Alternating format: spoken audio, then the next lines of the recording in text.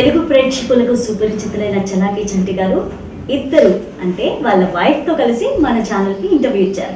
So వాళ్ళ ముచ్చట్లు marriage తర్వాత వాళ్ళ లైఫ్ ఎలా ఉంది క్యాజువల్గా చంటి గారు ఎలా ఉంటారు వాళ్ళ మాటల్లోనే విందాం. హాయ్ చంటి గారు. హలో హాయ్ అండి. ఎలా ఉన్నారు? హ్యాపీ సో చంటి గారిని చూడగానే నవ్వొచ్చేస్తుంది కానీ నాకు హ్యాపీగా ఉంది ఈరోజు జబర్దస్త్లో చూస్తూ ఉంటాను కానీ రియల్గా ఇప్పుడు చూస్తున్నాను. అయ్యో thank you thank you so much so Jabardasth ముందుకి లైఫ్ జబర్దస్త్ తర్వాత ఎలా ఉంది? జబర్దస్త్గానే ఉంది. జబర్దస్త్ ముందు జబర్దస్త్గానే ఉండేది. జబర్దస్త్ తర్వాత కూడా జబర్దస్త్గానే ఉంది. ఇంకా కొంచెం కొంచెం యాడ్ అయింది ఎక్స్ట్రా యాడ్ అయింది. ఓకే. సో మ్యారీడ్ లైఫ్ ఎలా ఉంది? ఇట్స్ ఫైన్ బాగుంది. బాగుందా? షార్ట్ అండ్ స్వీట్గా చెప్పేశారు. మీరు చెప్పండి మీ మ్యారీడ్ లైఫ్ ఎలా ఉంది? మ్యారీడ్ లైఫ్ ఎలా ఉంది అని అడిగారు. మంచి ప్రశ్నే. మ్యారీడ్ లైఫ్ ఎలా ఉంది? జనరల్గా అందరికి ఎలా ఉంటుందో నాకు అలాగే కొత్తగా ఏం లేదు. ఓ. బట్ అంటే ఆబ్వియస్లీ మనం ఉండే నార్మల్గా ఉన్న లైఫ్లోంచి సడన్గా ఒక యాడ్ అయితే ఎలా ఉంటుందో అలా కొత్త కొత్తగా కొంచెం. అవి కొంచెం చాలా తక్కువ రోజులైంది కదా ఇంకా ఒకరిని ఒకరిని అర్థం చేసుకోవడానికి ఇంకా టైం పడుతుంది. ఓకే. సో మీరు ఇండస్ట్రీలోకి రావడానికి అవకాశం ఎలా వచ్చింది? అంటే ఫస్ట్ రేడియో మిర్చిలో చేశారు. తర్వాత తర్వాత మూవీస్లో చేశారు. ఫస్ట్ ఛాన్స్ ఎలా వచ్చింది? ఏది రేడియో ఛానల్లోకి వెళ్ళడానికి అంటున్నారా? ఇండస్ట్రీకి అసలు మీరు ఎంటర్ అవ్వడానికి ఛాన్స్ ఎక్కడ వచ్చింది ఫస్ట్ ఎంటర్ అవ్వడానికి ఛాన్స్ అంటే రేడియో మిర్చి అనే ఒక రేడియో ఛానల్ లాంచ్ అయ్యేటప్పుడు అంటే నేను ఒక ఒక గెస్ట్ హౌస్కి పనిచేస్తూ ఉండేవాడిని. గెస్ట్ హౌస్లో మేనేజర్ లాగా. మేనేజర్ కూడా కాదు కానీ నార్మల్గా పనిచేస్తుండే దానిలో దానిలో రేడియో మిర్చి వాళ్ళు ఇట్లా రేడియో లాంచ్ అవుతున్నారని చెప్పి వాళ్ళ ఒక టీం వచ్చి అక్కడ ఉందన్నమాట ఆ గెస్ట్ హౌస్లో. సో నేను దానిలో పనిచేస్తూ పనిచేస్తూ ఒక సౌండ్ ఇంజనీర్ని ఆయనతో కొంచెం మాటల్లో చిట్ చాట్ అట్లా కూర్చొని రాత్రి సాయంత్రం పూట కాఫీలు తాగేటప్పుడు టైంపాస్ టైంపాస్ చేస్తే సార్ నేను ఇట్లా ఇదండి నేను వచ్చిన మిమిక్రీ ఆర్టిస్ట్ ఇది చేస్తాను ఇది చేస్తానంటే సరే మీరైతే ఒక పని చేయండి రేపు ఇట్లా రేడియో స్టేషన్కి రండి. చూద్దాం బాగుంటుందేమో చూద్దాం ట్రై చేద్దాం అంటే నేను వెళ్ళాను నా వాయిస్ టెస్ట్ తీసుకున్నారు అంతా అయిపోయింది బాగుందని చెప్పారు వాళ్ళు వెళ్ళిపోమన్నారు అంతే కదా అని వెళ్ళిపోయాను మ్. కొన్ని రోజులు అయిన తర్వాత ఒకరోజు ఆయన ఎవరైతే నాతోటి వాయిస్ టెస్ట్ తీసుకున్నారో ఆయన నాకు ఫోన్ చేసి పొద్దున ఫైవ్ థర్టీకి. ఆన్ చేసి ఒకసారి రేడియో పెట్టుకున్నాడు. ఏ ఛానల్ పెట్టాలి? ఈ ఛానల్ పెట్టుకోను దేనికి సార్ ఒకసారి పెట్టుకోరా. పెట్టుకునే ఫస్ట్ వాయిస్ వచ్చింది నాదే. ఓకే. అప్పుడు హ్యాపీ అనిపించింది అనమాట అమ్మ రేడియో ఛానల్ లాంచింగ్ లాంచింగే నా వాయిస్ నా అంటే చాలా వాయిస్లు ఉన్నాయి. దానిలో నా వాయిస్ కూడా ఒకటి అయినందుకు చాలా హ్యాపీ ఫీల్ అయ్యా. ఇక ఇంకేమో మనకి పిలిచేస్తారు మన రేడియో మిర్చిలో మనం పెద్ద ఆర్జీ అయిపోతాం అది అనుకున్నాం కానీ దాని తర్వాత ఏమైందంటే ఒక రెండు ఒక వన్ ఇయర్ నన్ను పిలవలేదు వాడు ఓకే. ఏంటి పరిస్థితి? ఏం అర్థం కావట్లేదు. సరే ఏదో అనుకున్నాం. ఛానల్ వచ్చిందని హ్యాపీగా ఫీల్ అయ్యి మళ్ళీ జాబ్కి వెళ్ళిపోదాంలే అనుకున్నా. తర్వాత ఒకరోజు ఆ, ఎత్తిరాజు భూపాల్ గారు రైటర్ ఎత్తిరాజు భూపాల్ గారు ఆయన ఫోన్ చేసి ఇట్లా నాకు ఒక వాయిస్ కావాలి మీరు ఇస్తారా ఒకసారి ఒకసారి ఛానల్కి వస్తారంటే నేను వెళ్ళే వాళ్ళ దగ్గరికి. వెళ్ళేటప్పటికి ఇట్లా చంటి బంటి అని ఒక స్పార్కిల్ది వాయిస్ ఉంటే చాలా ఫేమస్ చాలా ఫేమస్ అది. అంటే ఫస్ట్ స్పార్కిలర్ ఇన్ హైదరాబాద్ అనమాట. సౌత్ దీలో చెప్పుకోవచ్చు అన్ని రేడియో ఛానల్స్లో నాది ఫస్ట్ స్పార్కిల్ చంటి బంటి అనేది ఫస్ట్ దాన్ని చూసి మిగతా చాలా వచ్చినాయి. అంటే చంటి అనే ఒక వాయిస్కి ఇలా కావాలి అంటే నేను నాది చేసి మ్. మేము. రికార్డ్ చేసాం ఫైవ్ మినిట్స్లో ప్లే అయిపోయింది. ప్లే అయిపోయిన తర్వాత హ్యూజ్ ఆఫ్ లైక్స్ వచ్చాయన్నమాట. అప్పుడు వాళ్ళు ఏం చేశారంటే ఇదేదో బాగుందని చెప్పి కంటిన్యూ చేయడం మొదలెట్టారు అలా Chanti Banti tsunami Salim fake. Manager మాణిక్యంలో కొన్ని క్యారెక్టర్లు.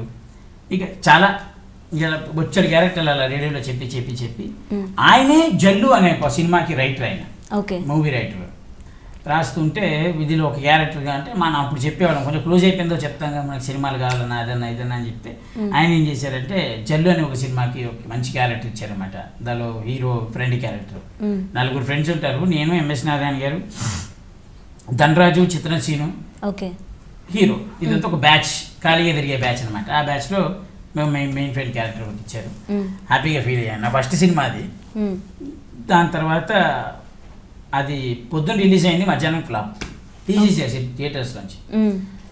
మళ్ళీ బయలుదేరదాం అనుకున్నా మళ్ళీ ఏదైనా జాబ్ ఎక్కేద్దాం హ్యాపీగా మ్. ఎందుకు మనకి తలకాయని ఇప్పుడు మ్. మనకి మనకి మన లెగ్ పెద్దగా వర్కౌట్ లేదని మ్. అనుకుంటే కొన్ని రోజులు అయిన తర్వాత భీమిలి కబడ్డీ జట్టు అనే మళ్ళీ అప్పుడు రేడియో రేడియో మిర్చి బ్యాక్ అనమాట. చిన్న చిన్న వాయిస్లు చెప్పుకుంటూ యాడ్ చెప్పుకుంటూ. వస్తే భీమిలి కబడ్డీ జట్టు అనే సినిమాకి ఈయన సత్య సత్య గారు మన తాతినేని సత్య గారు డైరెక్టర్ ఆయన ఇట్లా ఆడిషన్స్ పెట్టారంటే సరే కదా అని చెప్పి వెళ్ళి నేను అసలు యాక్చువల్గా ఆడిషన్స్కి నాకు సంబంధం లేదు. హేమంత్ ఉన్నాడు కదా ఆర్జే హేమంత్. వాడిని పిలిచాడు. ఓకే. సరే వాడు వెళ్తూ అరే అబ్బాయి నీకు కూడా ఉంది కదా ఇంట్రెస్ట్ ఒకసారి రా ఆడిషన్స్కి వెళ్దాం అని చెప్తే నేను వెళ్ళా. ఆడిషన్స్లో కూర్చున్నా. వాళ్ళు మాట్లాడారు. వీళ్ళతో అంతా మాట్లాడారు. మీరు ఆర్టిస్ట్ అని అడిగారు. ఆ ఆర్టిస్ట్ అని. అడిగాను ఓ డైలీ పేపర్ ఇచ్చాడు టపటప చదివేసా. సరే టేక్ టేక్ చేద్దామని అన్నాడు. రెడీ సార్ అయితే మీరు అవతల డైలాగులు చెప్పండి నా నేను ఇవతల డైలాగులు చెప్తా అని చెప్పి. వాళ్ళు అత్త డైలాగులు చెప్పారు. భీమిలి కబర్ చెట్టు సినిమాలో. నేను అల్లుడు డైలాగులు చెప్పాలి. ఓకే. టప్ టప్ టప్ టప్ చెప్పేటప్పటికి లాస్ట్కి ఒకటే ఒక డైలాగ్ యాడ్ చేశా. అదే ఆ డైలాగే మూవీలో కూడా ఉంటుంది. ఇది చచ్చిపోయిన వార్త పేపర్లో పడితే పోను దరిద్రపు అని. అదే డైలాగ్ ఏదైతే నేను డైలాగ్ చెప్పానో ఆయన డైరెక్టర్ ఇంప్రెస్ అయిపోయి ఇదే డైలాగ్ ఫీడ్ చేసుకోండి అని చెప్పి రాసేసాడు బుక్ కూడా చేసేసాడు. ఆయన అప్పుడు చెప్పాడనమాట అరే నువ్వు ఇట్లా లావ్ అవ్వాలి. బాగా అంటే ఆయన నాకు ఆ సీడీ ఇచ్చారు. ఓకే. సీడీ ఇచ్చి మీరు చూడండి వీళ్ళు అప్పుకుట్టి క్యారెక్టర్. మీరు ఇక్కడ చేయాలి అంటే అది అవన్నీ మోస్ట్ మెమరబుల్ థింగ్స్ అనమాట సో మ్యారేజ్ లైఫ్ తర్వాత మీకు ఇప్పుడు ఎలా ఉంది? చాలా హ్యాపీగా ఉంది. సో మీరు ఫ్యాన్ ఆ చంటి గారికి మీరు షోస్ చూస్తూ ఉంటారా? చూస్తుంటాను. మీరు ఎప్పుడన్నా ఐడియా ఇవ్వడం జరిగిందా? ఈ షో ఇలా చేస్తే బాగుంటుంది? ఇంకా అంత రాలేదు. వచ్చి వన్ మంత్ అయింది. సో ప్రిపరేషన్ ఎలా ఉంటుంది? సార్ది ఇంట్లో జబర్దస్త్కి వెళ్ళే ముందు ఎలా ప్రిపేర్ అవుతూ ఉంటారు? నార్మల్గానే ఉంటారు. అంత ప్రిపేర్ అయ్యే మేము వెళ్ళరు. ఓకే. ఆయన అక్కడ స్పాంటినిటీగానే చేస్తారు. అందుకే అవన్నీ అలా టపాసులాగా అలా వెళ్తూ ఉంటాయి. అది అంటే ప్రిపేర్ అయ్యి ప్రిపేర్ అయ్యి వెళ్తే పేలవని ఇండైరెక్ట్గా ఆవిడ చెప్తున్నారు. నేను చెప్పట్లేదు. ప్రిపేర్ అయింది ప్రిపేర్ అయినట్టే ఉంటుంది. సో మీ వర్కౌట్ ఎలా ఉంటుంది సార్? జబర్దస్త్కి ముందు అంటే షోకి వెళ్ళే ముందు ఎలా వర్కౌట్ చేస్తారు? ఏ షోకైనా సరే నా ఉద్దేశంలో నేను ఎప్పుడు ఒక పేపర్ మీద పెన్ను పెట్టి రాయలేదు. ఇది చాలా ఇంటర్వ్యూస్లో చెప్పాను ఇప్పుడు కూడా చెప్తున్నాను. నేను ఏ షోకి నేను పేపర్ మీద పెన్ను పెట్టి రాయలేదు మ్మ్. నేను ఏం చేస్తానంటే ముందు నాకు ఏదైనా కాన్సెప్ట్ ఇస్తే ముందు నా టీం మెంబర్స్ని నమ్ముతాను. ఓకే. అది ఫ్లాప్ అవ్వని హిట్ అవ్వని కొలాప్స్ అయిపోయి నాకు దరిద్రంగా ఉండను నేను. నాకు ప్రాబ్లం లేదు. బేసిక్ పాయింట్ ఏంటంటే ముందు మన కింద పని చేసేవాళ్ళని మనం నమ్మాలి మ్మ్. నేనేం ఇప్పుడు ఒక డాక్టర్కి ఒక పేషెంట్కి మధ్య ఏదైనా కడుపులో నొప్పి ప్రాబ్లం ఇట్లాంటిది ఏదైనా ఫన్నీగా ఉండాలంటే నా టీం మెంబర్స్లో ఒకరిని పిలిచారు నువ్వు డాక్టరు వాడు పేషెంట్ నేను అనుకోకుండా నీ హాస్పిటల్కి వచ్చిన విజిటర్ అనుకో. మన ముద్ర మధ్య కాన్వర్జేషన్ ఎలా ఉంటుందిరా అని అడిగేస్తా. వాళ్ళు అప్పటికప్పుడు అల్లేసుకుని అప్పటికప్పుడు చెప్పేస్తారు "ఆ, రైట్ ఇది ఏవి బాగున్నాయి అవి తీసుకుంటే మిగతా ఇవి బాగాలేదురా లేదు చేద్దాం అప్పుడప్పుడు అనుకొని అప్పటికప్పుడు స్టేజ్ ఎక్కి చేసేయడం నా ఉద్దేశం ఏంటంటే స్పాట్లో పది నిమిషాల్లో కనుక జనాన్ని హ్యాపీగా నవ్వించేవాడే కమెడియన్. ప్రాక్టీస్ చేసుకొని స్టేజ్ ఎక్కిన తర్వాత ఒక స్క్రిప్ట్ డైలాగ్ డైలాగ్ చెప్పుకు రాసుకునే వాడికి అదొక టైప్ ఆఫ్ కమెడియన్ అనుకోవచ్చు అంటే ఇప్పుడు ఎలా ఉంటుందంటే కొన్ని కొన్నిసార్లు మనం అంతా స్క్రిప్ట్లు గిప్ట్లు అని రాసేసుకుంటాం. అవతల వాడు చెప్పాల్సిన డైలాగ్ చెప్పలేదు అనుకోండి మన డైలాగ్ మర్చిపోతాం అది. ఫ్లో మిస్ అయిపోతుంది అది కొంతమంది కమెడియన్స్ ఉంటారు వాటిని అందరికి ఉంది అనుకోండి చాలా పెద్ద పెద్ద కమెడియన్స్కి అయితే ఇవన్నీ అవసరం లేవు. వాళ్ళు ఏది చెప్పినా కామెడీయే కాబట్టి ఎలా బాగున్నాం అంటే కూడా నవ్వేస్తారు చాలామంది. సో అలాంటి ఇది వేరు కానీ నా ఉద్దేశంలో అదనమాట. స్క్రిప్ట్ రాసుకొని వెళ్తే నాకు ఎందుకో టెన్త్ క్లాస్ పిల్లల్లాగా ఫీల్ అవుతుంటా. రాత్రి చదువుకుందే పొద్దున్న రాయాలి. అనుకోకుండా వేరే క్వశ్చన్ వస్తే రాయలేము రాలే. సో జబర్దస్త్లో నేను ఇప్పటి వరకు నా ఫార్ములా అయితే అదే. అప్పటికప్పుడు అనుకోవాలి అప్పటికప్పుడు చేసుకోవాలి టచ్ మన ఎక్కాలి అది ఫ్లాప్ అవని హిట్ అవని మెమరబుల్గా ఉండని కొలాప్స్ అయిపోయి నాశనం అయిపోయి ఏదైనా జరిగింది. ఒకవేళ సూపర్ డూపర్గా హిట్ అయింది అనుకోండి. ఆ క్రెడిట్ అయితే నేను మా వాళ్ళకే ఇస్తా. ఎందుకంటే వాళ్ళు స్పాంటేనియట్గా చెప్పారు కాబట్టి నేను ఆ టైంకి చేయగలిగాను. ఒకవేళ ఫ్లాప్ అయింది అనుకోండి అది హండ్రెడ్ పర్సెంట్ నేనే తీసుకుంటాను ఎందుకంటే నేను సరిగ్గా చేయలేకపోవడం. సూపర్. సో మీరు ఒక కాలేజ్కి వెళ్ళినప్పుడు ఒక ఫోర్ థౌజండ్ మెంబర్స్ ఒకేసారి లేచి మీకు అప్లాజ్ ఇవ్వడం జరిగింది. దాన్ని ఎలా ఫీల్ అవుతున్నారో? ఆ సంఘటన ఎక్కడ జరిగింది అసలు? అది రీసెంట్గానే కాలేజ్ పేరు సరిగ్గా గుర్తులేదు. మన హైత్ నగర్ దాటిన తర్వాత ఇక్కడ ఒక కాలేజ్ అన్నమాట ఇంజనీరింగ్ కాలేజ్. అంటే నా షో నా ఇష్టం అనే ఒక షో నన్ను ఎక్కడికి తీసుకెళ్ళింది అంటే జ జనరల్గా ఒక షోకి క్లిక్ అయిన మెంబర్ అయితే వాడిని ఆ షో పేరు పెట్టే పిలుస్తారు. జనరల్గా ఇప్పుడు జబర్దస్త్ ఇప్పుడు నన్ను అందరు చలాకీ చంటి అని ఎలా పిలిచారు? అంటే చలాకీ చంటి అని పెట్టుకుందే జబర్దస్త్లో ఉన్నాయి. సో చలాకీ చంటిగానే పిలిచేవారు. దీని తర్వాత ఏమైనా జబర్దస్త్ చంటి అనేవారు. అది అయిపోయిన తర్వాత ఎప్పుడైతే నేను నా షో నా ఇష్టం అనే ఒక షోకి నేను యాంకర్గా ఫిక్స్ అయ్యి నేను ఆ షో చేయడం జరుగుతుంటే జబర్దస్త్ మర్చిపోయారు అందరు. అందరూ మర్చిపోయి కేవలం చంటి. నా షో నా ఇష్టం అదిరిపోయింది సూపర్ అల్టిమేట్ ఎక్కడికి వెళ్ళినా దానిలో నా సిగ్నేచర్ అనమాట ఓ మై గాడ్ అనేది నా ఓ మై signature. గాడ్ నేను ఆ కాలేజ్కి వెళ్ళి జస్ట్ ఊరికే సరే గెస్ట్గా పిలిచారు వెళ్ళాము. మైక్ పట్టుకుని అందరూ బాగున్నారు అనగా నాలుగు వేల మంది ఒకటేసారి లేచి ఓ Oh మై. గాడ్ అని అడిస్తే అంటే రెండు నిమిషాలు కళ్ళలో నీళ్ళు తిరిగాయి.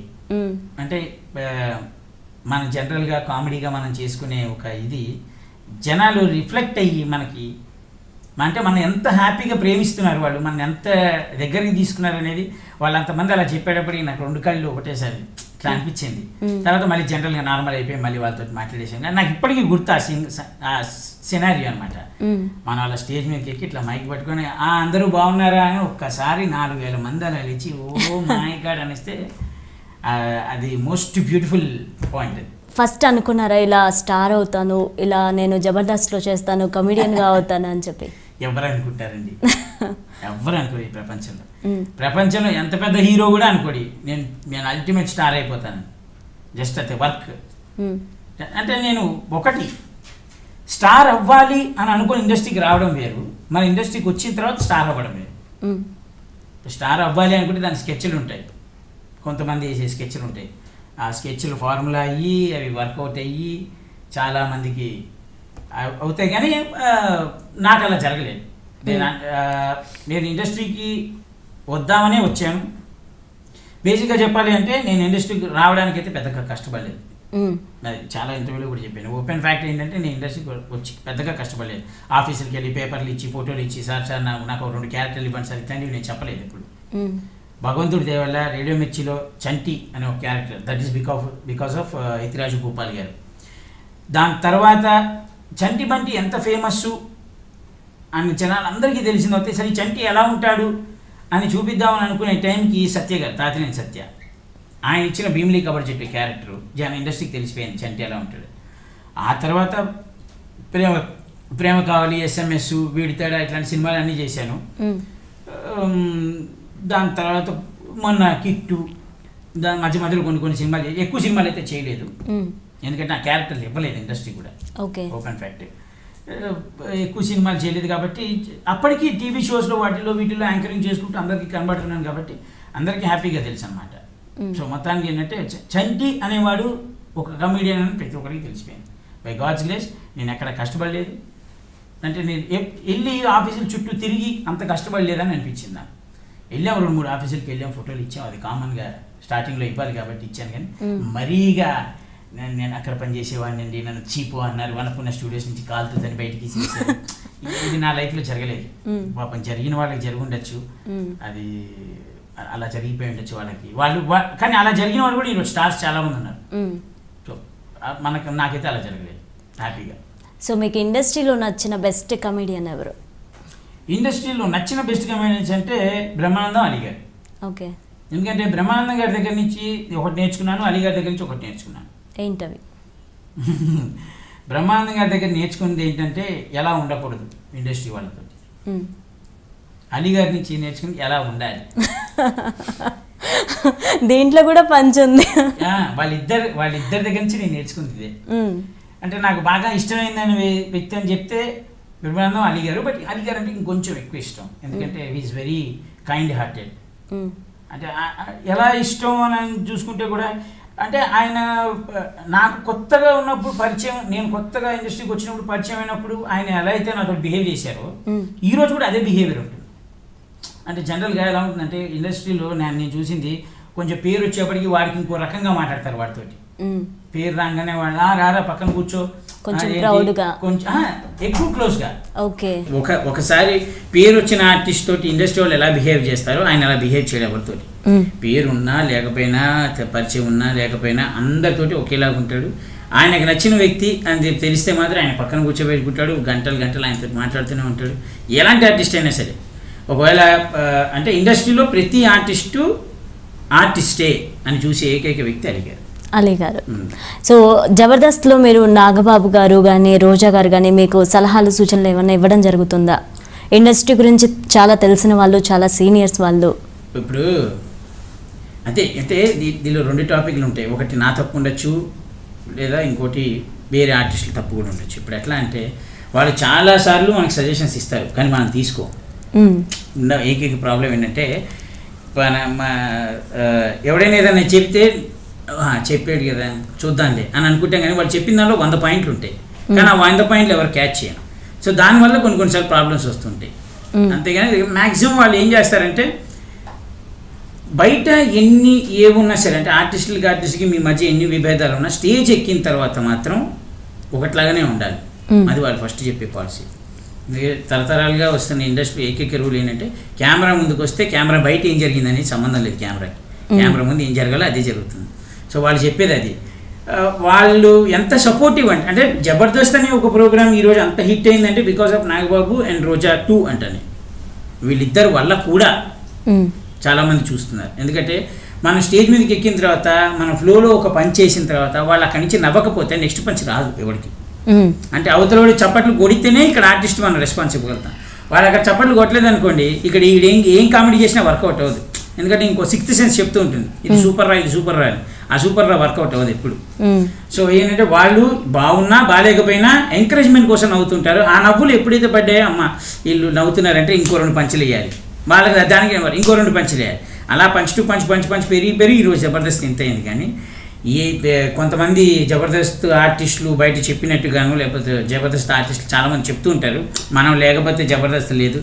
అసలు మనమే మెయిన్ మనం తోపులం కాకలం చిచ్చలం అని చెప్తారు కానీ ఇవన్నీ కాదు. Because of Mallemala because of ETV because of direction department because of managers లేకపోతే అక్కడ పనిచేసే టీ ప్రొడక్షన్ బాయ్ వాళ్ళ వల్ల కూడా జబర్దస్త్ హిట్ అయింది. వాడు ఆ టైంకి టీ కనుక తెచ్చి ఇవ్వకపోతే వీడి బ్రెయిన్ పనిచేయదు. వీడి బ్రెయిన్ పని చేయకపోతే కొత్త టాపిక్ రాదు. కొత్త టాపిక్ రాకపోతే పైన నవ్వించలేడు. నవ్వించకపోతే నాగబాబు గారు నవ్వరు. నవ్వకపోతే ఆడియన్స్కి ఎక్కదు ఇది ఇన్ని సైకిల్ అన్నమాట. సో ప్రతిదీ అంటే మల్లెమాల అనే ఒక ప్రొడక్షన్లో పనిచేసే టీ బాయ్ దగ్గర నుంచి ఈటీవీలో టెలికాస్ట్ చేయడానికి కారణమైన ఎడిటర్ ఎడిటింగ్ బటన్ మీద కీబోర్డ్ మీద కొట్టే స్లాష్ ఎంటర్ సబ్జెక్ట్ వరకు ప్రతి ఒక్కళ్ళది సక్సెస్ ఉంది ఒక ప్రోగ్రామ్కి సో అందుకని జబర్దస్త్ ఇంత హిట్ అయింది చెప్తే ఎవడి ఒక సొత్తు కాదు లేకపోతే ఎవడిది నేను నేను తోపుని అని ఎవడు చెప్పడానికి లేదు అక్కడ. సో అది basic point Jabardasth. Okay madam మీరు చెప్పండి మీ మ్యారేజ్ అసలు ఎలా సెట్ అయింది? అంటే ఎలా జరిగింది? ఆ, ఈయన షోస్ చూసేదాన్ని ఈయనకి ఫ్యాన్ నేను బేసికలీ ఈయన షోస్ చూశాను. భీమ్లీ కబడ్డీ జట్లో మూవీస్లో చూసి ఈయన ఫ్యాన్ని. మ్యారేజ్ ప్రపోజల్స్ అప్పుడు వచ్చినప్పుడు మాకు తెలిసిన ఆయన ఒక ఆయన చంటి గారు తెలుసు మాకు అది అన్నారు బేసిక్గా ఫ్యాన్ని. వాళ్ళు తెలుసు అంటంలో మ్యారేజ్ కోసం వెతుకుతున్నారు మాకు చెప్పారు ప్రపోజల్స్ అని చెప్పారు. సో నేను చేసుకుంటానని నేనే అడగటం వాళ్ళు ఫోన్ నెంబర్స్ వెతికి. అలా ఈయన చేసుకోవడం జరిగింది. సో బేసిక్గా చెప్పాలంటే స్కెచ్ చేసి నెంబర్లు పట్టి. రోడ్డు మీద నేను ఒక్కడిని ఎత్తుటే ముసుకేసి కళ్ళకి గంటలు కట్టి నలుగురు కొట్టినట్టుగా తీసుకెళ్ళి ఎంగేజ్మెంట్ చేశారు. అలా జరిగిపోయింది అనుకో. అంతే ప్రతి మగాడి జీవితంలో అలా కొన్ని జరుగుతుంటాయి మర్చిపోవాలని సో ఒక అభిమానిని పెళ్ళి చేసుకోవడం ఎలా అనిపిస్తుంది మీకు? అంటే తెలిసిన అభిమాని అయితే పెళ్ళి చేసుకోవడానికి మనకి ఏదో ఒకటి అనిపిస్తుంది. తెలియని అభిమాని ఏకలవ్య అభిమాని. నిజంగానే అంటే నా జనరల్గా నా పెళ్ళి టాపిక్ ఎంత ఫేమస్ అయిందో అందరికీ తెలుసు కాబట్టి. నేను జనరల్గా వెతుకుతున్నాం కొన్ని సంబంధాలు వచ్చాయి మనం మనకి సెట్ అవ్వక అటు ఇటు కాక తర్వాత చూద్దాంలే తర్వాత చూద్దాం తర్వాత చూద్దాంలే అనుకుంటే వన్ మంత్లో అన్నీ జరిగిపోయినాయి మ్మ్. వీళ్ళ వీళ్ళ వీళ్ళ అంటే నా నెంబర్ వాళ్ళకి వెళ్ళడం. వీళ్ళు మా వాళ్ళతో మాట్లాడడం పెళ్ళి చూపులు జరగడం ముహూర్తాలు పెట్టుకోవడం పెళ్ళి అయిపోవడం తీసుకొచ్చడం వన్ మంత్లో జరిగిపోయినాయి ఐదు సంఘటనలు ఒకటేసారి. అంటే విచిత్రం ఎలా జరిగింది చూడండి. అసలు పెళ్ళి టైం వస్తే పెళ్ళికే టైం ఉందంటే అట్లా అయిపోయింది. కోట గారు ఒకసారి డైలాగ్ చెప్పారు నీకు టైం వస్తే టైం ఉండదురా. అంటే. ఆయన. ఆ మాట చెప్పింది ఇప్పటికి గుర్తుకొస్తుందన్నమాట. అంటే ఏదైనా మనకి టైం వచ్చిందంటే ఆగదు. అట్లా జరిగిపోయింది. ఇన్ని సంవత్సరాల నుంచి నా పెళ్ళి గురించి మాట్లాడుతున్న చాలా టాపిక్లు అన్నీ కట్ అయిపోయి సడన్గా నన్ను చిన్నపిల్లలను చేసి నోట్లో పిప్పర్మెంట్ పెట్టి మ్యారేజ్ చేసేసారు. మ్యారేజ్ చేసేసి మేడం మీరు చెప్పండి. ఒక అభిమానిగా టీవీలో చూశారు మూవీస్లో చూశారు. ఇలా డైరెక్ట్గా పెళ్ళి చేసుకున్న తర్వాత ఎలా అనిపిస్తుంది మీకు? భయం అదొక కొత్త ఫీలింగ్ నేను ఎవరినైతే టీవీలో చూసి అభిమానించానో ఆయన్ని హస్బెండ్గా తీసుకోవడం అనేది ఒక సర్ప్రైజింగ్గా ఉంది.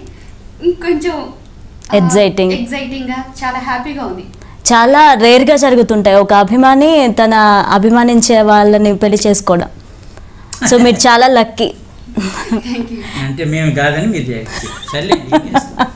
మేడం చాలా లక్కీ అంటే మీరు కూడా చాలా లక్కీ సార్. ఏం లెక్క అండి? మీకేం తెలుసు? పొద్దున్నే వంట వండితే తెలుస్తుంది. సో మీ హాబీస్ ఏంటి? ఏం చేస్తూ ఉంటారు ఖాళీగా ఉన్నప్పుడు? నా బ్రెయిన్ తింటూ ఉంటుంది. అది ఒక బెస్ట్ హాబీ. అది కాకుండా ఇంకేం చేస్తూ ఉంటారు? తింటూ ఉంటుంది. అలాంటివి కాకుండా ఇంకేదైనా చెప్పాలంటే సరే సార్ బిజీగా ఉన్నప్పుడు మీరు ఖాళీగా ఉన్నప్పుడు ఏం చేస్తూ ఉంటారు. నేను బిజీగా ఉన్నట్టే నేను ఖాళీగా ఉన్నట్టేగా. ఇప్పుడు నా బ్రెయిన్ అలా టప్మని ఓపెన్ చేసి చెంచా పెట్టి రప రప రప రప రప తింటూ ఉంటే ఐస్ క్రీమ్ తిన్నట్టు ఆవిడ బిజీయే నేను అటు ఇటు కలుపుకుంటూ నా తలకాయ బిజీయే. సో ఇండస్ట్రీలో ఇంకా మంచి ఫ్రెండ్స్ ఎవరన్నా ఉన్నారా మీకు? నాకు అందరూ మంచి ఫ్రెండ్సే. ధనరాజు వేణు చంద్ర సుధీరు గెటప్ సీను రాంప్రసాదు ఇప్పుడు సుధాకరు లేకపోతే శంకరు ఎవరికెవరైతే ఎవరైతే పేర్లు పెట్టుకున్న ఆర్టిస్టులని ఫీలింగ్లో తిరుగుతున్న ప్రతి వాళ్ళు నా బెస్ట్ ఫ్రెండ్సే. నిజం? అందరూ నాకు బెస్ట్ ఫ్రెండ్స్. ఎందుకంటే నేను ఎప్పుడు ఎవరితోటి క్రాస్గా మాట్లాడను. బస్ నాకున్న దరిద్రమైన అలవాటు ఏంటంటే ఎదుటివాడు ఏదైనా తప్పు అని చెప్తే డైరెక్ట్గా తప్పు అని చెప్పేస్తా ఒకవేళ నేను తప్పు చెప్తే సారీ చెప్పేస్తా. స్ట్రైట్ ఫార్వర్డ్ నేను లోపల పెట్టుకొని బయటకు కొట్టి మాట్లాడు సో నాకు మ్యాక్సిమం బెస్ట్ అందరు ఫ్రెండ్సే ఎవడి శత్రువులు అయితే లేరు. ఎవడి శత్రువు అంటే నా పక్కన ఎప్పుడు నాకు గోళీలు వేస్తూ తిరుగుతాడు వాడే శత్రువు మ్, అట్లా. ఎందుకంటే మనం గన్ను తీసుకొని డైరెక్ట్గా వెళ్తే ఎదుర్కొన్నా ఇంకోటి గన్ను పెట్టుకుని అనుకో వాడే friend.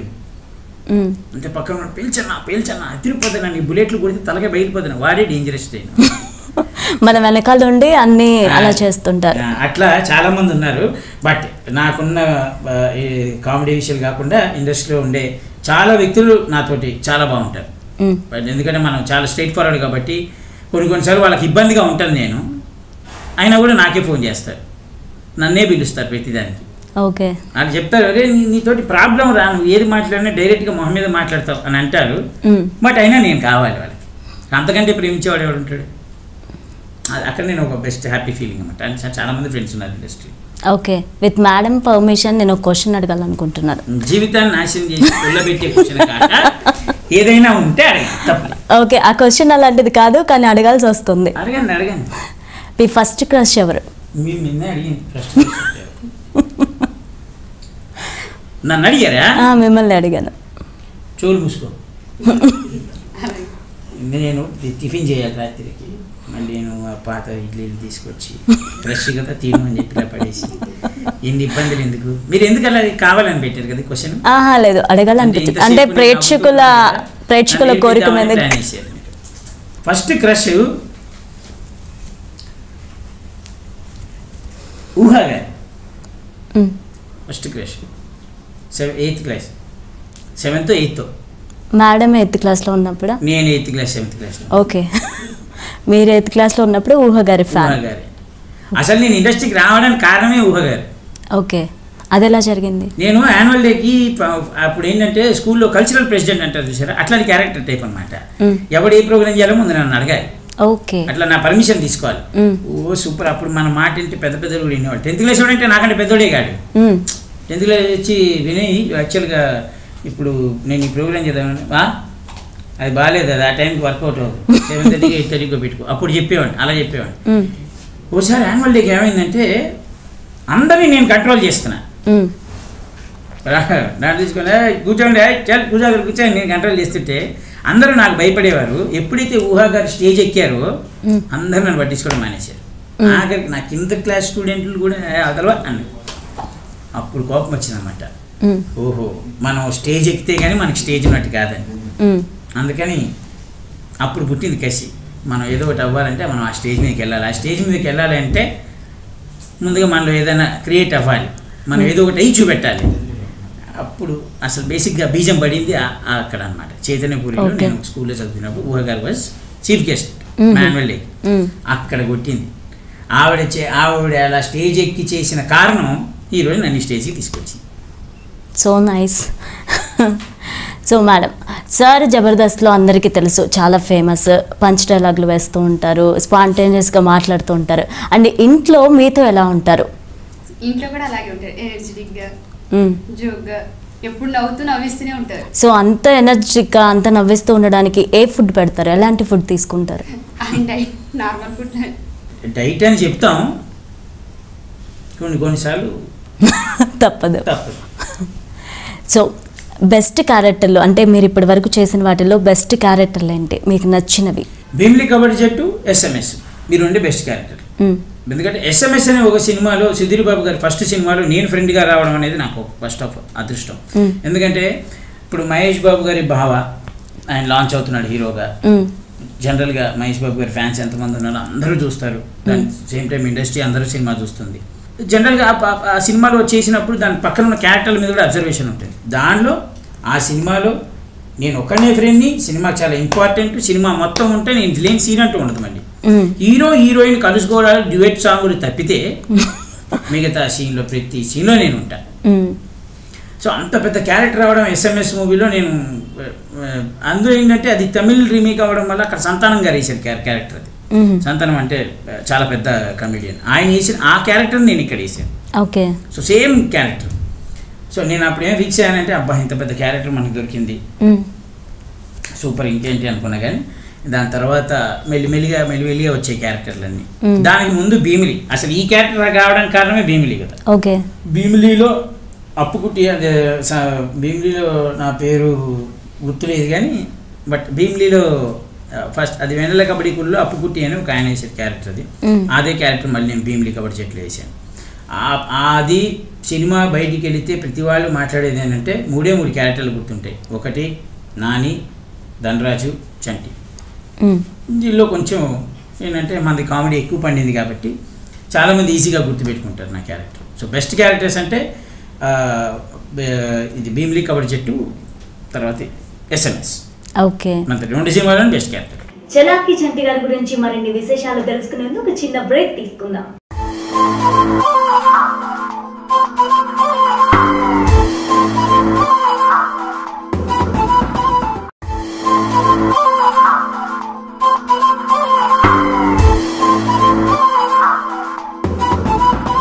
Welcome back to special show so ఇండస్ట్రీలో మీకు నచ్చిన డైరెక్టర్ ఎవరు?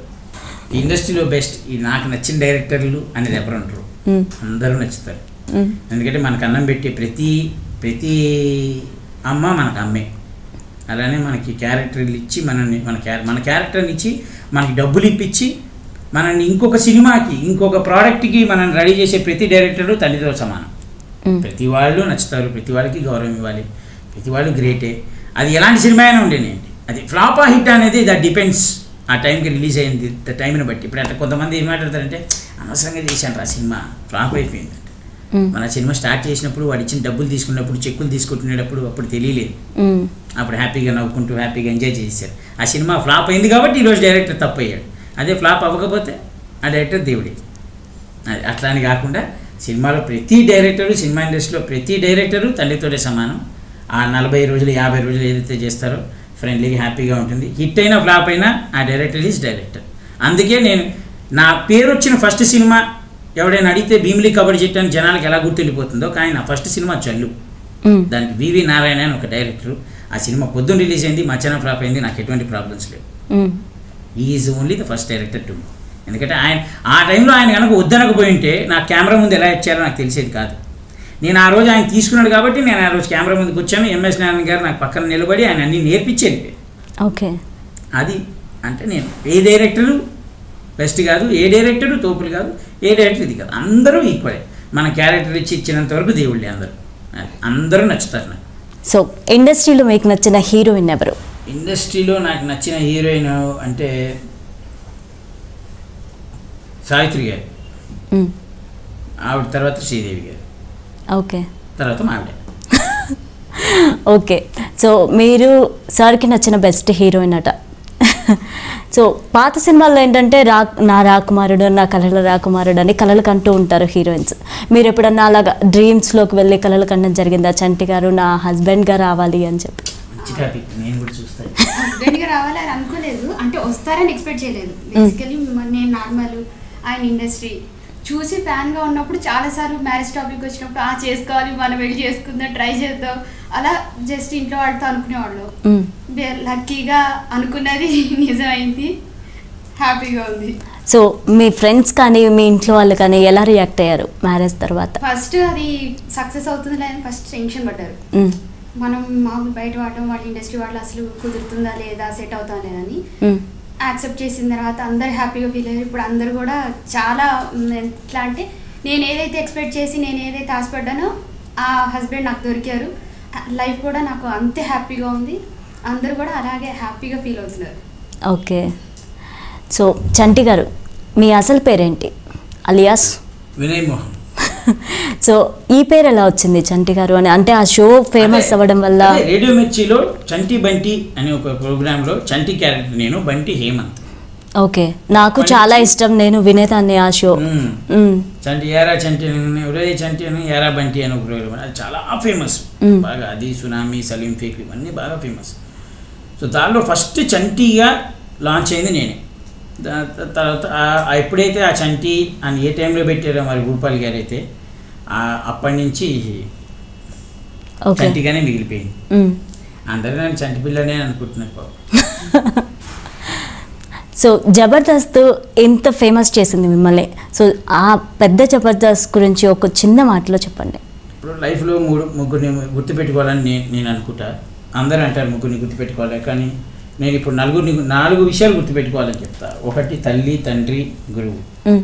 ముందు అన్నం పెట్టి పెంచే తల్లి అన్నం మనం మనం పుట్టడానికి కారణమైనటువంటి తండ్రి మనం పెరిగి ఒక భవిష్యత్తులో ఒక పేరు సాధించడానికి కారణమైన గురువు. ఈ మూడు కాకుండా మన లైఫ్ని మనకి మనకి చూపించి ఇలా బతికితే చాలు ఇలా నడుచుకోరా ఇది ఇలా చేసుకో ఇది ఇంపార్టెంట్ అని చెప్పే జబర్దస్త్. అది నాకు ఇంపార్టెంట్ వాల్యూ. అంటే జబర్దస్త్ అనేది నాకు ఈక్వల్ టు తల్లి లాంటిది ఎందుకంటే. ఈరోజు జబర్దస్త్ ఉంది కాబట్టి నేను నా కారు నా ఇల్లు నా బ్యాంక్ నా బ్యాంక్ డబ్బులు ఆ ఒంటి మీద గోల్డ్ వాచ్లు చైను కావాల్సిన షూ మనం ఏదైతే ఆశలతో కూడుకొని ఉంటాం కదా అబ్బాయి ఇది ఉంటే బాగుంటుంది అనుకుని కొనుక్కునే కెపాసిటీ. నా కెపాసిటీ ఇదంతా బికాస్ ఆఫ్ జబర్దస్త్ ఎందుకంటే సినిమాలు చేసేటప్పుడు కొన్ని డబ్బులు వస్తాయి అవి వెళ్ళిపోతాయి తర్వాత ఎందుకంటే అన్ని సినిమాలు కంటిన్యూస్గా చేసే ఆర్టిస్ట్ని కాదు నేను. నాకు అలా ఇవ్వలేదు ఎవరు ఛాన్సులు అలా వచ్చిన రోజు ఏవో సినిమా చేయడం డబ్బులు కొన్ని రోజుల తర్వాత సినిమాలు రావు తర్వాత అది నడుపుకోవడం అలా అయిపోయింది కానీ జబర్దస్త్ వల్ల ఏంటంటే నెల తిరిగేటప్పటికి నేను ఒక్కనే కాదు.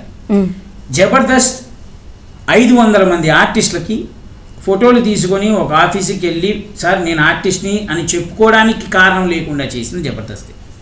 ఎవడు వెళ్ళినా మీరు జబర్దస్త్ చేశారు కదా ఓ మీరు ఆ- స్కిట్లో బాగా చేశారు వాళ్ళే అలా గుర్తుపడుతున్నారు. వాళ్ళని గుర్తుపట్టే స్థాయికి తీసుకొచ్చింది జబర్దస్త్. అంటే ఇండస్ట్రీకి చాలా మంది ఆర్టిస్టులు పరిచయం చేసి చాలా గాలికి తిరిగే చాలా మంది ఈరోజు ఆర్టిస్టులు అయ్యారు. ఓకే ఒకటి అంటే గాలి తిరగడం అంటే తప్పుగా కాదు అంటే అలా గాలికి వెళ్ళి ప్రతి ఆఫీస్కి వెళ్ళి అంటే ఏ అవకాశం లేని ఆ, ఏ అవకాశం లేక ఎప్పుడు అవకాశం వస్తుందో తెలియక అప్పుడు చేసుకుని ఊరి నుంచి వచ్చి.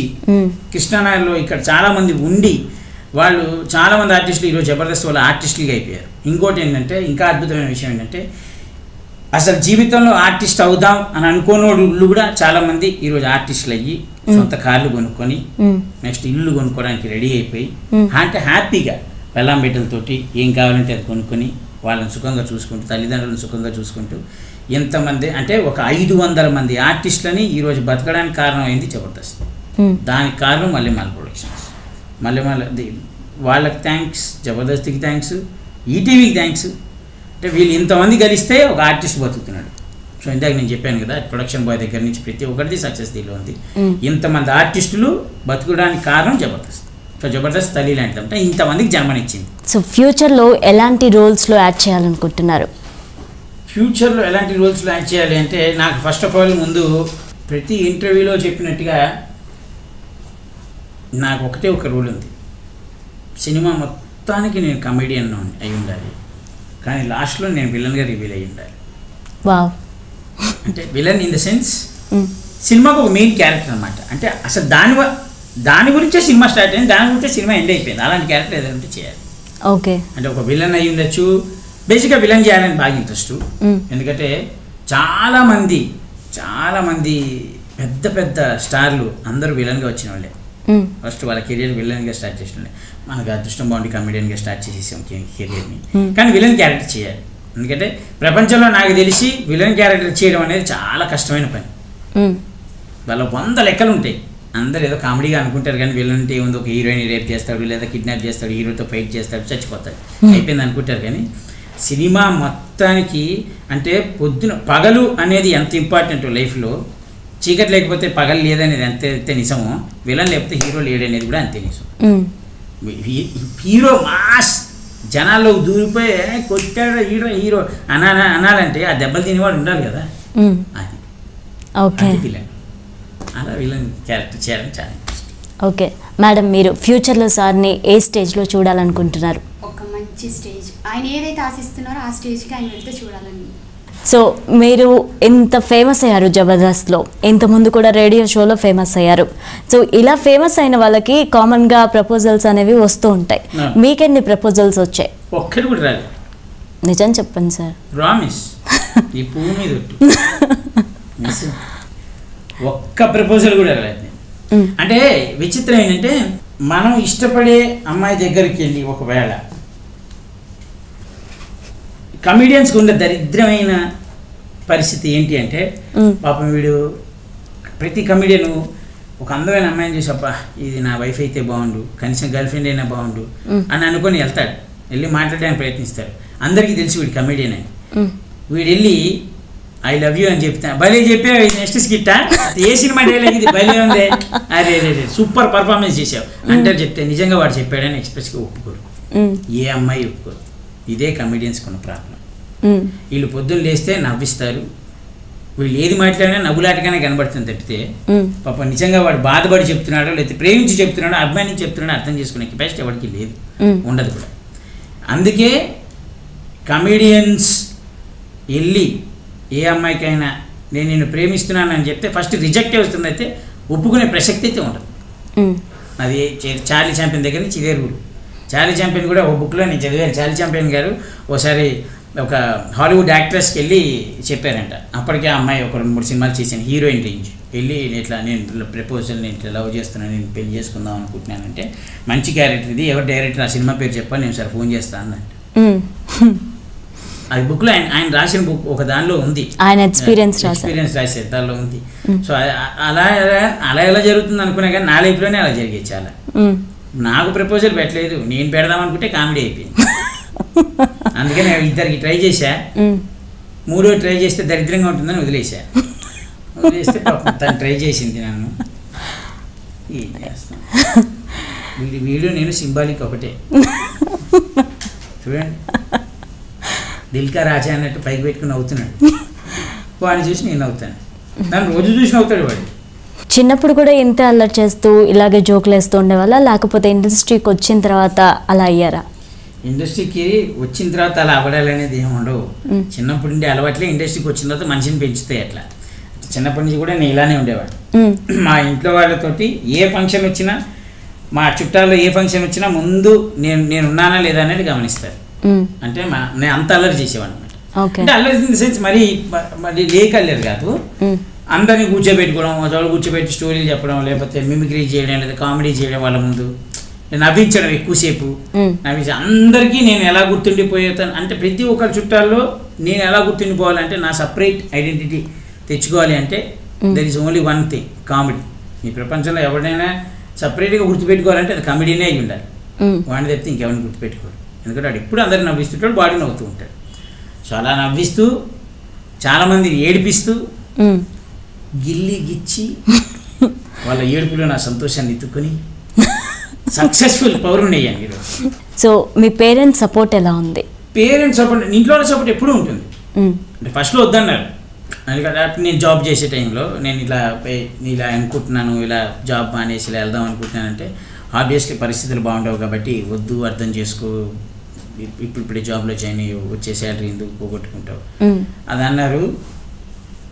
కొన్ని రోజులు అయిన తర్వాత మ్, అన్నయ్య మా ఇంట్లో వాళ్ళు అందరు ఇద్దరు అన్నయ్యలు అమ్మమ్మ అత్త మావయ్యలు చాలామంది ఉన్నారు. వీళ్ళందరూ కలిసి ఏం చేశారంటే సరే నీ ఇష్టం నీకు ఏది ఎలా చేయాలనిపిస్తే అలా అని వదిలేశారు. వదిలేసిన తర్వాత ఫస్ట్ బేసికల్ థింగ్ ఏంటంటే ఇండస్ట్రీకి వచ్చే వచ్చిన తర్వాత చాలా చూసేటప్పుడు డబ్బులు ఖర్చు అయిపోతుంది. ఆ సపోర్ట్ నాకు నా ఇంట్లో వాళ్ళు ఇచ్చారు. అంటే నాకు ఎప్పుడు నేను ఆ టైంకి ఎక్కడికైనా వెళ్ళాలి ఎవరైనా కలవాలి డబ్బులు లేవు చేతిలో. ఎలా వెళ్ళాలో తెలియదు. బండి బండి ఉన్నది అలా పెట్రోల్ ఉండదు. అలాంటప్పుడు మనం అడగలేని పరిస్థితులు కొన్ని వస్తాయి ఇంట్లో వాళ్ళని కూడా. వంద యాభై అని అడగలేని పరిస్థితులు వస్తాయి. అలాంటి టైంలో కూడా అడిగినప్పుడు లేదు అనుకుని ఇచ్చేవాళ్ళు. ఓకే. దానికి ముందు కారణం మా అమ్మమ్మ. మ్మ్. మా అమ్మమ్మ ఎప్పుడు డబ్బులు ఇచ్చి ఇచ్చి- పంపి వెళ్- వెళ్ళమని చెప్పేది. నేను వెళ్దాం అనుకుంటున్నా అంటే అవును ఎంత అవుతుందిరా? అవుతుందో మూడు వందల దాకా అవుతుంది తక్కువ మూడు వందలు తీసి ఇచ్చేది వెళ్ళు. చెయ్యి. ట్రై చెయ్యి. లైఫ్ లేదని ట్రై చేస్తే నాకు తెలిసేది గెలుస్తామో ఓడిపోదామా అని ఓడిపోతే ఇంటికి వస్తావు. గెలిస్తే గెలుస్తావుగా. ట్రై చేయనిచ్చేది ఫస్ట్ సపోర్ట్ ఆవిడే. దాని తర్వాత మా అత్త మా మామ మా అన్నయ్య. ఫ్రెండ్స్. ఓకే. ఫ్రెండ్స్ అయితే చాలా బాగా సపోర్ట్ చేసేవాళ్ళు. చ- అంటే నాకు ఉన్నది ఒక ఐదుగురు ఫ్రెండ్స్ ఉన్నారు. ఈ ఐదుగురు ఫ్రెండ్స్ ఎలా సపోర్ట్ చేశారంటే ఇప్పుడు అందరు ఎవరు కాల్ సెటిల్ అయిపోయి ఉన్నారు. వాళ్ళు ఎలా సపోర్ట్ చేశారంటే వాళ్ళు నాకు ఫోన్ చేసి చెప్పేవాడు అరే పలానా ఆఫీస్లో ఈ సినిమా ఓపెన్ అయింది. వాళ్ళ ఇండస్ట్రీ వాళ్ళు కాదు మళ్ళీ. వాళ్ళకి ఇక్కడ లింక్స్ ఎక్కువ ఉన్నాయి. ఇండస్ట్రీ మనుషులతో ఎక్కువ లింక్స్ ఉన్నాయి. వాళ్ళకి ఏంటంటే అరే పలానా ఆఫీస్ ఓపెన్ అయిందంట ఈ అడ్రస్ అక్కడ ఉంది ఈ ఆఫీస్ ఇక్కడ ఉంది. Hmm. ఒకసారి వెళ్ళు అలా వెళ్ళు అంటే ఈ- ఏరియాలో తిరుగు అని చెప్పడానికి వాళ్ళు బాగా సపోర్ట్ చేస్తారు కొంత కొన్నిసార్లు నాకు డబ్బు లేకపోతే వాళ్ళు వచ్చి దింపి వెళ్ళిపోయేవారు నన్ను. మ్మ్. నన్ను తీసుకొచ్చి కృష్ణానగర్లో దింపేస్తే అక్కడ ఒక కేఫ్ ఉంది. ఎక్కడంటే మన ఆ, సత్యసైనిక హోమ్ ఉంది కదా దాని పక్కన ఒక కేఫ్ ఉంటుంది మెట్రో కేఫ్ దానిలో కూర్చున్నా. గంటలు గంటలు కూర్చున్నాను ఎవడో ఒకడు రాకపోతాడు? ఎవడో ఒకటి పట్టుకుపోతాడు? ఎందుకంటే మనకి మే మనం ఏ ఆఫీసులకి వెళ్ళలేదు. ఫస్ట్ భయం నాకు ఆఫీసులకి వెళ్ళాలంటే. వెళ్తే ముందు ఇట్లా పెట్టంగానే దాని ఉన్నది ఒకటే ఎలా పెట్టిందంటే బాగుందే? చూద్దాం. ఈ చూద్దాం అనేది తరతరాల నుంచి వస్తుంది ఇండస్ట్రీకి చూద్దాం అనే పదంలో పాజిటివ్ ఉంది నెగిటివ్ ఉంది. వాళ్ళు ఎప్పుడు పిలుస్తాడో తెలియదు ఎప్పుడు పిల్లరో తెలియదు సో ఆ భయం ఆ భయం నన్ను లోపల దాచేసి ఆ కేఫ్లో కూర్చోబెట్టేసింది. అలా అలా అలా మెల్లిగా మెల్లిగా మెల్లిగా ఆ లింకు ఈ లింకు ఆ లింక్ ఈ లింక్ పట్టుకొని ఇంకా నాకున్న నాలెడ్జ్ Okay. పట్టుకొని మెల్లిమెల్లిగా ఆ గెస్ట్ హౌస్లో ఇరవై మిర్చి వాళ్ళతోటి సినిమాల్లో. అది అట్లా గాయత్రి అయింది. సో ఫ్యూచర్లో కనుక హీరో క్యారెక్టర్ వస్తే చేస్తారా హ్యాపీగా చేస్తా. ఎందుకు చేయకూడదు నా నా లైఫ్లో ఒక సినిమా చేస్తా హీరోగా కంపల్సరీగా చేస్తా హీరోయిన్ ఎవరు కావాలి హీరోయిన్. ఆ టైంలో ఎవరుంటే వాళ్ళే మన చేతిలో ఉంటుంది ఏంటి. ఇలా పుల్లలు పెట్టే క్వశ్చన్లు మీరు ఎప్పుడు పక్కన వాళ్ళు ఉన్నప్పుడు అడగకూడదు. ఓకే పర్సనల్గా మీ ఇంటర్వ్యూ తీసుకున్నప్పుడు ఇలాంటి క్వశ్చన్. నేను నేను పర్సనల్ ఓకే. హీరోయిన్ ఎవరు కావాలంటే అప్పుడు ఒక లిస్ట్ ఇస్తా. వీళ్ళైతే బాగుంటుంది వీళ్ళైతే బాగుంటుంది అది తిరుగు ఇటైనా కూడా ఇట్లాంటివన్నీ హీరోయిన్ ఎవరు కావాలంటే మనకి ఏమన్నా మనం ఏమైనా పెద్ద మహేష్ బాబులమా ప్రభాసులమా మనకి ఏ హీరోయిన్ కావాలి అనగానే హీరోయిన్ తీసుకెళ్ళి పెట్టాను. మనదే అంతంత మాత్రం. మేడం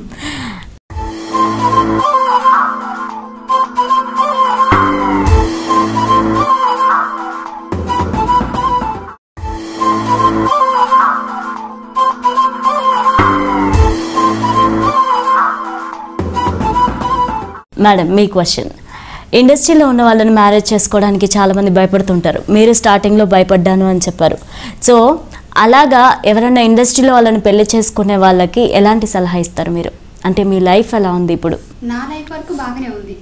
అడ్వైజ్ అంటే నేను ఇవ్వలేను కానీ నా వరకు నేను ఎంచుకున్నంత వరకు అయితే హ్యాపీగా ఉంది. నేను ఏదైతే చూస్ చేసుకొని ఏం చేసుకుంటే బాగుంటుంది అని నేను ఎక్స్పెక్ట్ చేయటం ఇంట్లో వాళ్ళతో కూడా పర్లేదమ్మా నేను మాట్లాడాను.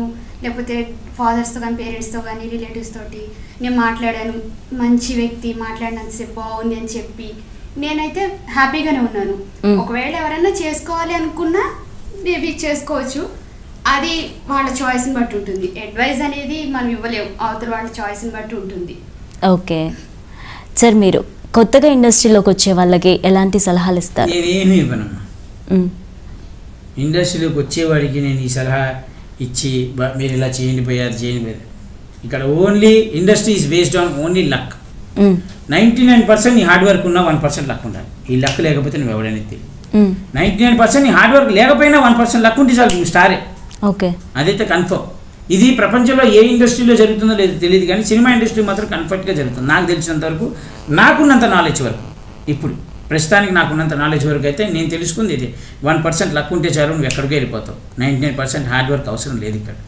ఎప్పుడు నీ ninety nine percent hard work ఎప్పుడు వస్తుందంటే నీ లక్ వచ్చి నువ్వు నేను ఎవడో గుర్తుపెట్టేసిన తర్వాత అప్పుడు నీ ninety nine percent hard work నీ స్టేజెస్ని మారుస్తుందేమో కానీ నేను బాగా కష్టపడుతున్నాను నాకు నా పేరు రావట్లేదంటే సుడి లేదు. సుడి ఉంటే ఆటోమేటిక్గా స్టార్ట్ అయిపోతుంది. సో మహేష్ బాబు గారితో కనుక డైరెక్షన్ చేసే అవకాశం వస్తే ఎలా ఫీల్ అవుతారు? మహేష్ బాబు గారితో నేను డైరెక్టర్ కదా first of all Mahesh Babu గారితో డైరెక్షన్ చేసే ఛాన్సే వస్తే నేను ఒకటే ఒక సినిమా చేస్తా. ఒకే ఒక సినిమా. అదేంటంటే హాలీవుడ్ మూవీ ఒకటి ఉంది పేరు చెప్పను. Purely కాపే okay. Purely cop movie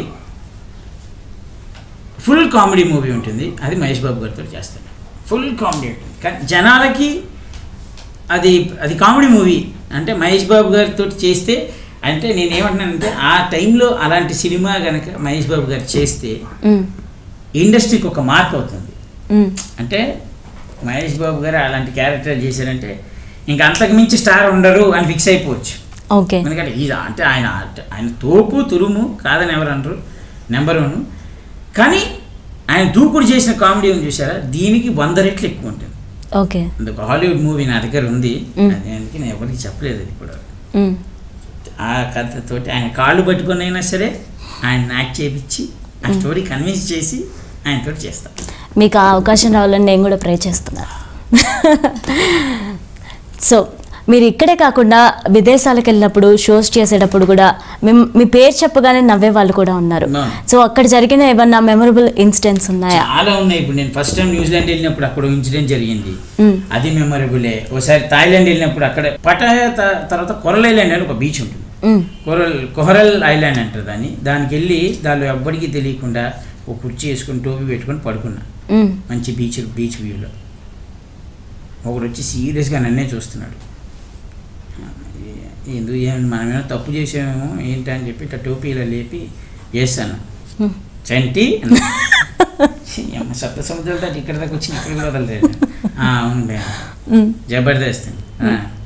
I have seen your program thank you sir one minute అని. వన్ ఫోటో అన్నాడు. మ్మ్. "ఆ, ఓకే సార్ లేచి దిగా. దిగి మళ్ళీ ఇట్లా మళ్ళీ ఇట్లా కుర్చీలు ఇట్లా పడుకొని మళ్ళీ టోపీ వేసాను. హలో సార్ అన్నాడు. టోపీ అలా తెరిచి చూస్తే యాభై మంది ఉన్నారు. వన్ ఫోటో అన్నాడు. చెడ్డీ మీద బనీన్ వేసుకొని ఒంటరిగా ఒక్కడిని ఎవ్వడికి తెలియకుండా సప్త సముద్రం టోపీ కళ్ళ ముందు పెట్టుకొని పడుకుంటే వీళ్ళు వచ్చి ప్రతి ఒక్కడు ఫోటోలు దిగుతుంటే. అంటే హ్యాపీ అనిపించింది. జనరల్గా ఇండియన్స్ కానివ్వండి లేకపోతే ఎవరైనా సరే వేరే వాళ్ళు కానివ్వండి ఒక ప్లేస్ దాటిది ఇంకో ప్లేస్లో ఎవరైనా మన వాళ్ళు కనబడితే పట్టించుకోం. మనం వచ్చింటే వాళ్ళు వచ్చారు లేదా కానీ సెలబ్రిటీ అనేవాడు లేకపోతే ఎవడైనా ఆర్టిస్ట్ అనేవాడు ఎక్కడికి వెళ్ళినా ఉండే వాల్యూ ఏంటనేది ఆ రోజు చూపించారు. అక్కడికి వెళ్ళిన తర్వాత అంతమంది వాళ్ళకి నాతో ఫోటోలు దిగాల్సిన అవసరం లేదు నేను ఒక చిన్న కమెడియన్ని మ్మ్. టీవీలో షోలో చేసుకుని ఒక చిన్న కమెడియన్ని కానీ వాళ్ళ మనసులో నేను ఎంత పెద్దగా ఉన్నాను అనేది నాకు అప్పుడు అనిపించింది. ఎంత ఎంత అభిమానిస్తున్నారు అభిమానిస్తున్నారని నేను అక్కడికి వెళ్ళిన తర్వాత వాళ్ళు వాళ్ళ పని వాళ్ళు చేసుకోకుండా వాళ్ళు వచ్చి ఆగి యాభై మంది నాతోటి ప్రతి ఒక్కడు ఫోటో దిగుతుంటే ఏది ఎక్కడో దూరం ప్రాంతం కాని ప్రాంతం. ఆ థాయిలాండ్ అనే ఒక కంట్రీలో అక్కడ చాలా మంది ఫారినర్స్ తిరుగుతూ ఉంటారు. అక్కడ నన్ను ఫోటో అడిగి తీసుకోవడం అనేది ఇది ఫస్ట్ టైం నేను వెళ్ళినప్పుడు జరిగింది. ఆఫ్టర్ జబర్దస్త్. జబర్దస్త్ చేస్తున్నాను ఆ టైంకి. అక్కడికి వెళ్ళిన తర్వాత ఇంత ఫేమస్ కాదు. ఇప్పుడు ఇప్పుడు జబర్దస్త్ ఉన్నంత స్టేటస్ లేదు దానికి అప్పుడు. అప్పుడప్పుడే రేజింగ్ అవుతున్న ప్రోగ్రామ్ యాభై మంది చేసిన తర్వాత దానిలో ఒక అతను ఒక అంటే ఓ జబర్దస్త్ ఒక రేంజ్కి ఆ, తను ఏం చెప్పారంటే హైటెక్ సిటీలో వాళ్ళ ఆఫీస్ ఉంది. వాళ్ళ ఆఫీసర్ అంట ప్రతి థర్స్డే ఆ యాభై మంది ఎంప్లాయీస్కి అంటే వాళ్ళ ఆఫీస్ యూనిటే యాభై మంది చిన్న కాల్ సెంటర్. ఆ యాభై మందికి థర్స్డే నైట్ షెడ్యూల్ లేదు. ఓకే. నైట్ ఇది లేదనమాట because of Jabardasth. Because of Jabardasth. Nine థర్టీకి షార్ప్ అంటే సిక్స్ సెవెన్ థర్టీ సెవెన్ కల్లా ఆఫీస్ వదిలేస్తాం. థర్స్డే మాత్రమే. మిగతా రోజు నైట్ షిఫ్ట్లు ఉంటాయి మళ్ళీ. థర్స్డే మాత్రమే ఆ ఆ ఆఫీస్లో పనిచేసే మెయిన్ వ్యక్తి మేనేజర్ ఎవరో మరి? ఆయన లీవ్ డిక్లేర్ చేశాడంట అందరికి. ఈ రోజు ఏం ఉండవు. థర్స్డే మాత్రం వెళ్ళి హ్యాపీగా చూసేయండి. అప్పుడు థర్స్డే నైన్ థర్టీకి మాత్రమే వచ్చేది. ఇప్పుడు మళ్ళీ ఫ్రైడే వస్తుంది కానీ అప్పుడు ఓన్లీ థర్స్డే నైన్ థర్టీకి వచ్చేది. వాళ్ళు ఆ యాభై మంది నాకు ఆ విషయం చెప్తే నాకు అనిపించింది అనమాట అంటే మనం అంత రిలీఫ్ ఇస్తున్నాం ఆ జనాలకి. అంత టెన్షన్స్లో ఉన్న జనాలకి మనం చేసే కామెడీ ఇంత రిలీఫ్ ఉందా? అని అనుకుంటే అంత హ్యాపీగా ఫీల్ అయ్యాను అనమాట అది most memorable moment in foreign countries. ఇంకా దాని తర్వాత మళ్ళీ మొన్న మొన్న యూఎస్ వెళ్ళినప్పుడు వాళ్ళు నాటక వాటికి వెళ్ళినప్పుడు వాళ్ళు ఏం చేసింది? తర్వాత మళ్ళీ మలేషియా సింగపూర్లో షోస్ చేసినప్పుడు వాళ్ళు అభిమానించింది. ఇంకా ఒక్కొక్క చోట ఒక్కొక్క విచిత్రాలు జరుగుతూ ఉంటాయి. బట్ చాలా మంది బాగా జరిగిందని ఫస్ట్ న్యూజిలాండ్లో తర్వాత ఇది. న్యూజిలాండ్లో ఇంకా నేను ఎవరో కూడా తెలియదు. ఉట్టి చంటి బంటి ఫేమస్ అప్పటికి రేడియోలో. నా వాయిస్ విని నేను న్యూజిలాండ్లో షో ఫస్ట్ టైం నేను షో స్టేజ్ షో న్యూజిలాండ్లో చేస్తుంటే వెనక నుంచి ఒక ఇరవై ముప్పై మంది ఇంజనీరింగ్ పిల్లలు అరిచారు నాకు "ఏ, చంటే అని చెప్పి అరిచారు. అప్పటికి నేను చంటినని కూడా ఎవరికి తెలియదు. నేను ఇంకా స్టేజ్ మీకు ఎక్కి చెప్పాలి. మీరు హైదరాబాద్లో ఎవరైనా ఉంటే నేను ఇట్లా చంటి బంటి ప్రోగ్రాంలో ఆర్టిస్ట్ని కాకపోతే మీ అందరి ముందు కాస్త మిమిక్రీ చేస్తాను అని చెప్పుకోవాలి ఇంకా. ఆ చెప్పకముందే అరిచేసారు వాళ్ళు. అప్పుడు ఏమో మా వాయిస్ కూడా గుర్తుపెట్టుకుని ఫ్యాన్స్ ఉన్నారు నాకు నాకు భగవంతుడు ఇచ్చిన అదృష్టం. నా ధైర్యం నా దమ్ము కూడా అదే. నా వాయిస్.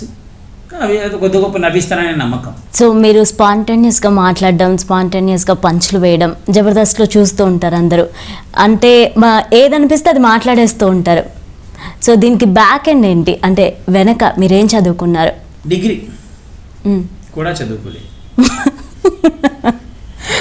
Degree first year. నేను ప్రౌడ్గా చెప్పుకుంటా డిగ్రీ డిస్కంటిన్యూడ్.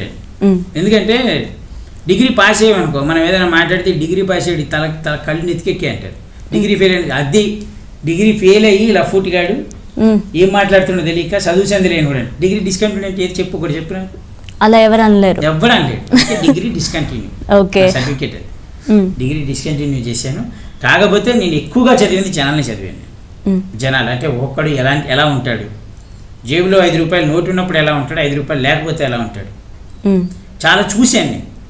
నా- నా ఇంటి నా ఫ్రెండ్స్ కానివ్వండి నా ఫ్రెండ్స్ తోటి ఉన్న వాళ్ళు కానివ్వండి నా ఫ్యామిలీస్ కానీ రిలేషన్స్ కానీ నాతో ఇప్పుడు నడుస్తున్న వాళ్ళు కానీ ఇంతకుముందు నడిచిన వాళ్ళు కానీ ఎవ్వరు ఎవరినైనా ఎవడైనా జేబులో ఐదు రూపాయలు ఉన్నంత వరకు నువ్వు దేవుడు అంటారు. ఐదు రూపాయలు లేకపోతే నువ్వు దెయ్యంతో సమానం.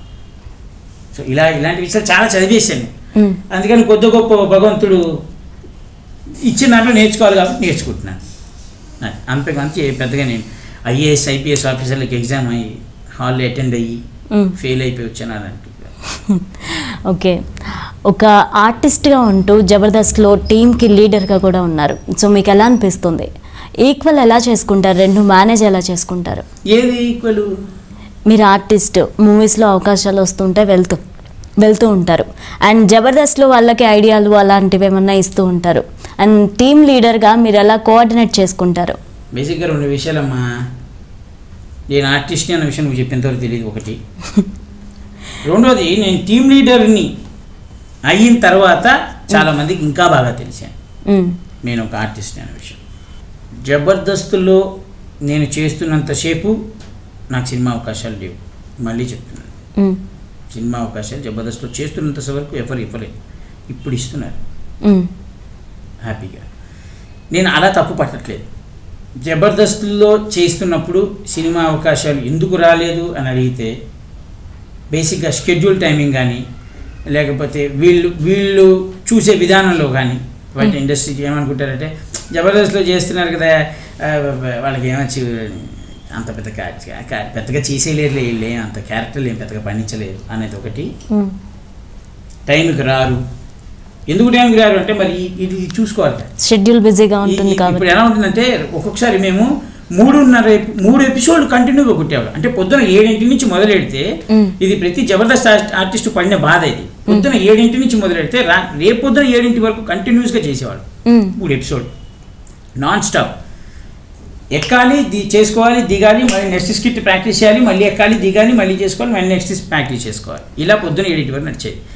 ఇది మళ్ళీ తొమ్మిదింటికి నువ్వు షూట్కి రా అంటే ఎప్పుడు పడుకుంటాం ఎప్పుడు లేస్తాం పోనీ అలాని నిద్రాహారాలు మానుకొని అక్కడికి వెళ్ళిన తర్వాత ఇదే బ్రెయిన్లో తిరుగుతుంటుంది ఫస్ట్ ఈ నిద్ర అనే ఒక కాన్సెప్ట్ వెనక నుంచి సపోర్ట్ చేస్తుంటుంది. అది చెప్పిండే వాళ్ళకి బ్రెయిన్కి ఎక్కదు చెప్పలేరు.